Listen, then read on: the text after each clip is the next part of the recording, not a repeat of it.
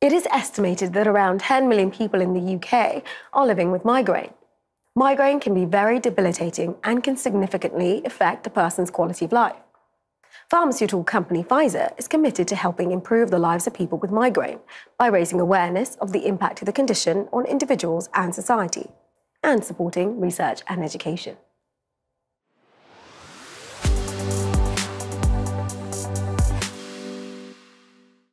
Migraine is the second biggest cause of short-term absence for non-manual employees in the UK, but it remains a misunderstood condition, often casually dismissed as just a headache.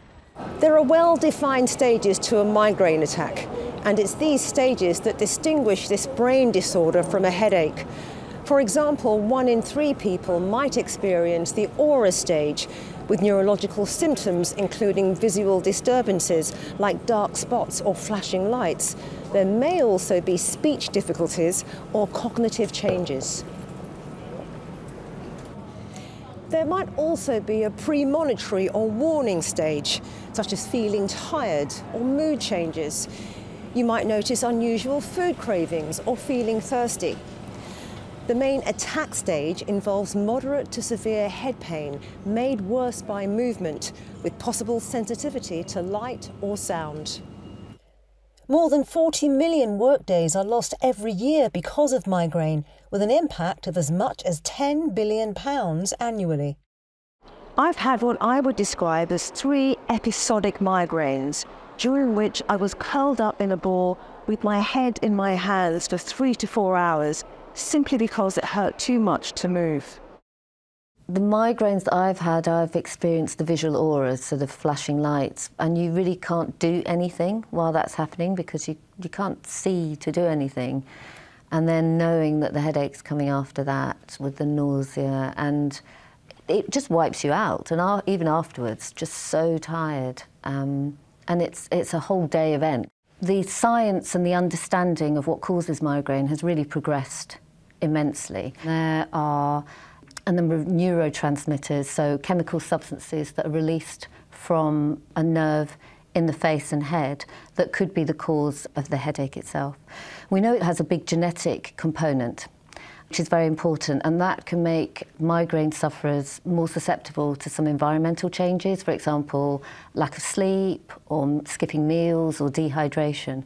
So it's quite a complex um, disease pathway for migraine. Pfizer is committed to raising awareness of the effect migraine has on people and the economy. The company provides educational activities to help healthcare professionals understand the issue alongside its own research. It also sponsors independent research projects. The Migraine Trust is one of the patient groups working with Pfizer to ensure it is catering for the needs of the migraine community that's more than 10 million people, with some of them chronically affected. Affects them in terms of being able to work, in terms of their relationships, often living in severe long term debilitating pain and really struggling in the worst cases to be able to just uh, live an active and normal life the way that all of us would like to. So, one of the things that the Migraine Trust is working very hard to do is to raise awareness of migraine in the workplace, both to support employees, but to think about companies and how they can support their employees. Employees can access a toolkit advising them how to have those difficult conversations with employers, who in turn can get advice on how best to empathise. Pfizer believes there are clear priorities for better treatment.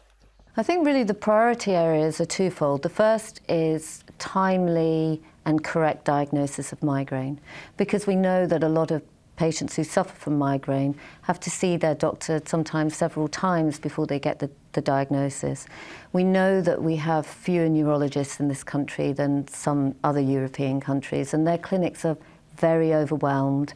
And quite often, neurology clinics are quite far away from where people live.